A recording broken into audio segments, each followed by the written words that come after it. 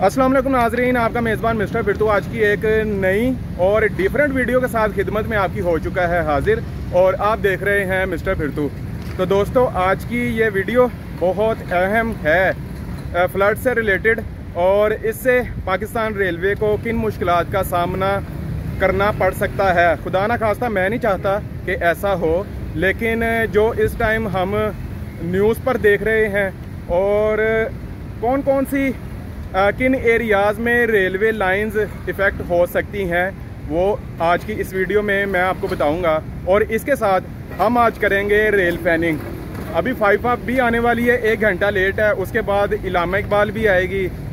पाक business express का action देखेंगे जाफ़र एक्सप्रेस का एक्शन देखेंगे।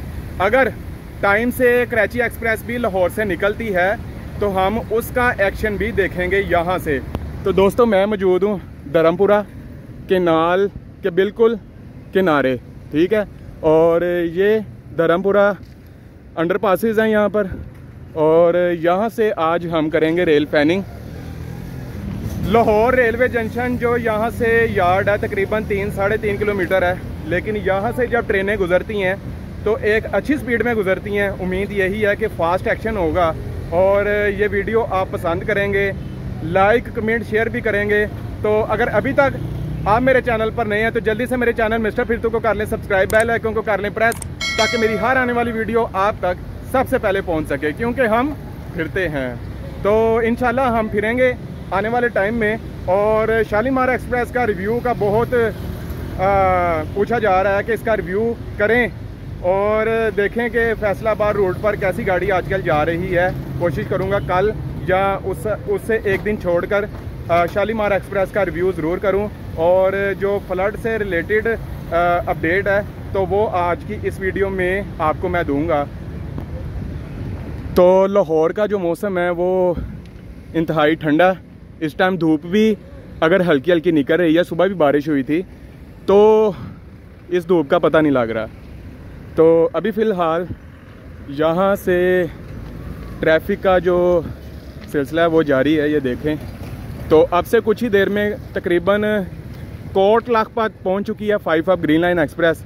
उसे कवर करेंगे। उसके बाद फिर इलामा इकबाल, पाक बिज़नेस जाफ़र एक्सप्रेस और कोशिश मैं करूँगा कि मैं आपको जैसे कि बताया कि कराची एक्सप्रेस को भी कवर करके जाऊँ।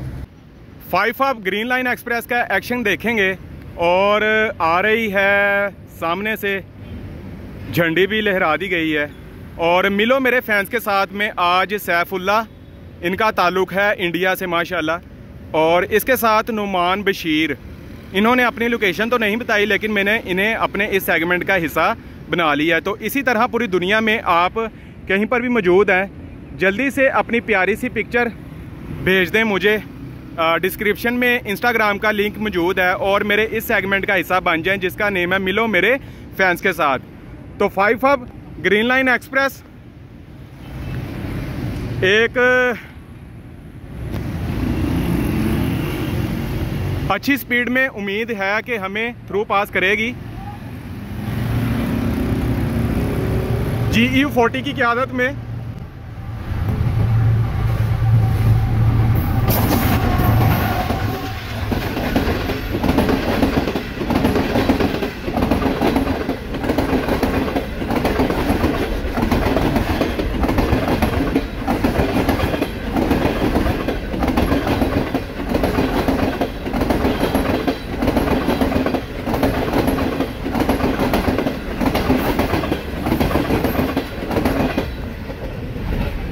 कल की वीडियो में मैंने आपसे पूछा था कि लाहौर में कितने जंक्शन हैं तो नुमान मलिक ने ओनली वाहिद राइट आंसर दिया और लाहौर में चार जंक्शन हैं और ये आप देख सकते हैं, इनके नेम भी उन्होंने यहाँ पर मेंशन किए।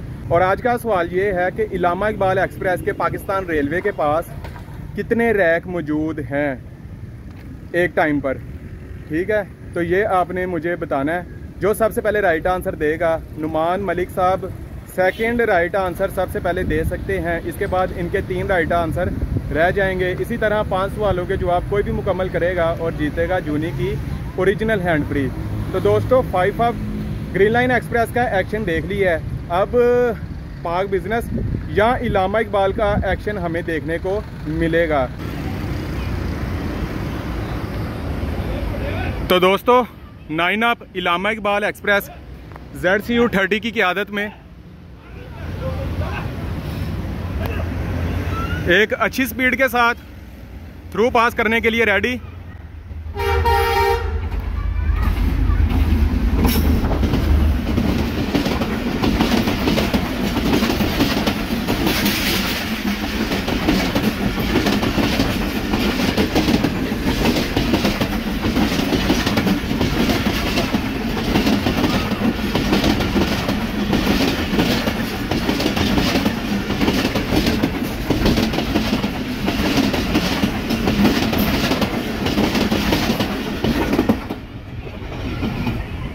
दोस्तों दो ट्रेनों के हमने एक्शन देख लिए हैं। और अब ज़रा हम बात करेंगे फ्लड सिचुएशन की कि क्या सूरत हाल बन सकती है। दोस्तों आने वाले दिनों में महकमा मौसमियात ने मज़ीद बारिशों का इम्कान ज़ाहिर कर दिया है।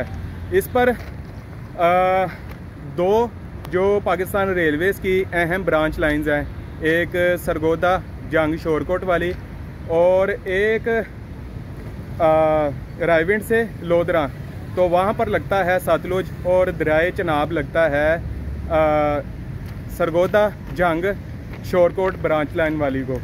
तो आने वाले मज़ीद टाइम्स में आ, जैसे कि आपने न्यूज़ भी देखी होगी इंडिया आइंदा 24 से 36 घंटे बहुत अहम है।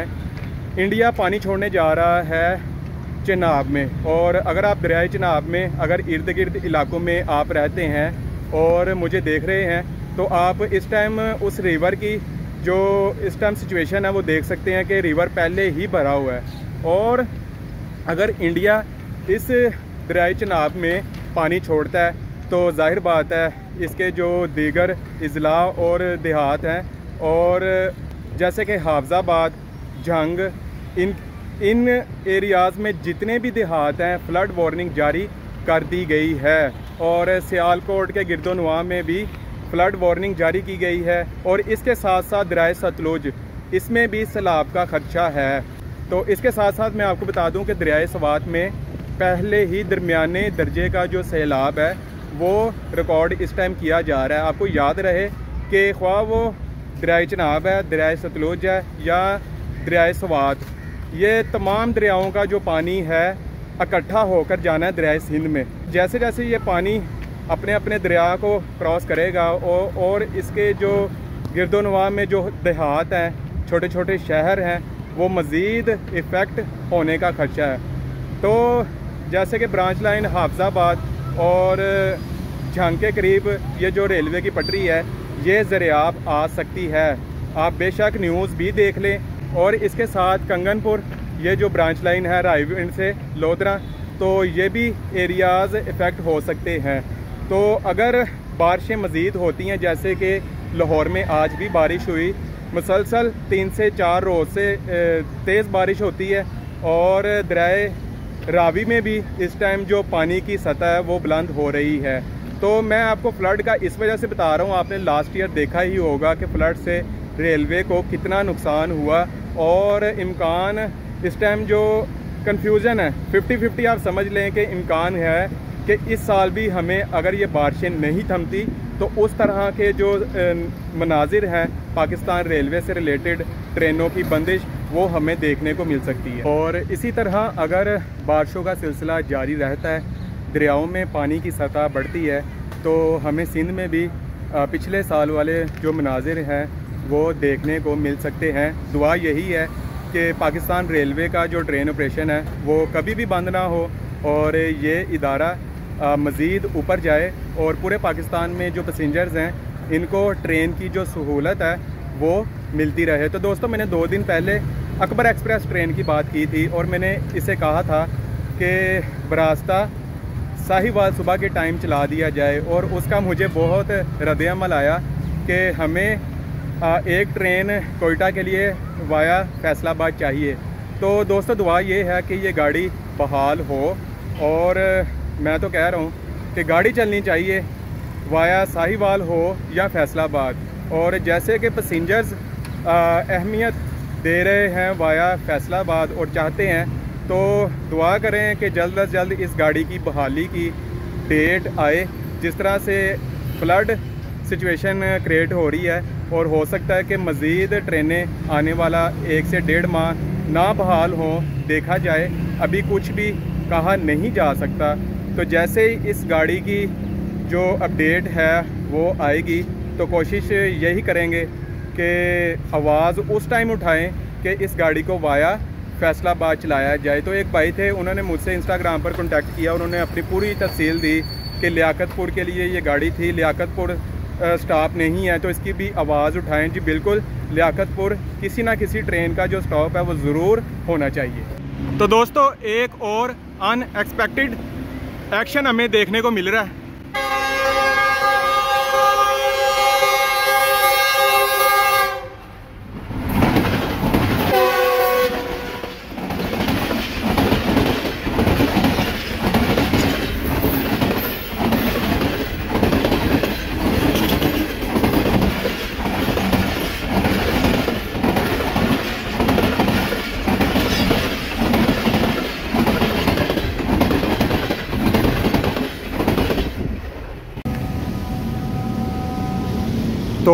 Pak business express thirty four down चार बजकर पचास मिनट पर लाहौर जंक्शन से आज की डेट में हुई रवाना।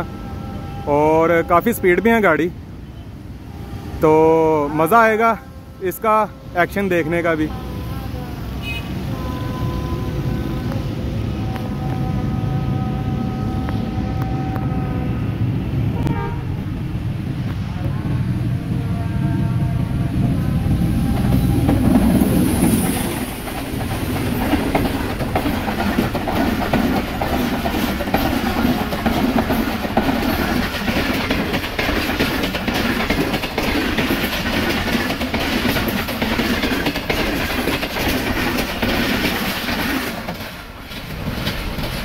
फ्लड अपडेट के साथ साथ चार ट्रेनों का एक्शन मैं आपको इसी वीडियो में दिखा चुका हूँ अब तक। और अब उम्मीद यही है कि जाफ़र एक्सप्रेस का एक्शन हम देखेंगे।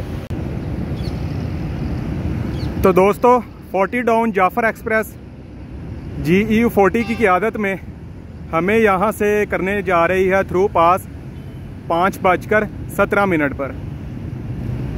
और एक घंटा लेट है इस टाइम और उम्मीद यही है कि एक अच्छा एक्शन हमें यहाँ पर देखने को मिलेगा जाफ़र एक्सप्रेस का।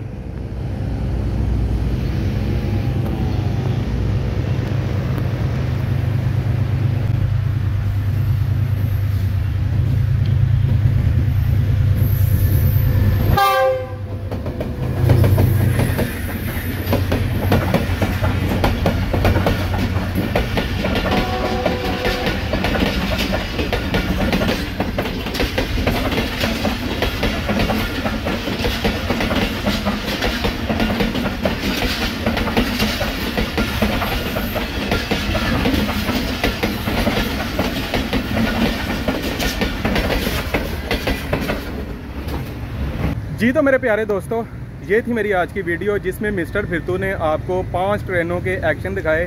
उम्मीद यही थी कि दीगर ट्रेन की तरह जाफ़र एक्सप्रेस भी आ, स्पीड एक्शन हमें देखने को मिलेगा लेकिन नहीं मिला। सैलाबी सूरत हाल आने वाले दिनों में क्या बनती है और ट्रेन अपडेट जो राइट अपडेट होगी वो मिस्टर फिरतू आपके साथ शेयर करता रहेगा। तो अगर अभी तक आप मेरे चैनल पर नहीं है तो जल्दी से मेरे चैनल मिस्टर फिरतू को कर लें सब्सक्राइब बेल आइकन को कर लें प्रेस ताकि मेरी हर आने वाली वीडियो आप तक सबसे पहले पहुँच सके, क्योंकि हम फिरते हैं। इसके साथ ही आज की इस वीडियो में मिस्टर फिरतू आपसे चाहता है इजाज़त। अल्लाह हाफिज़।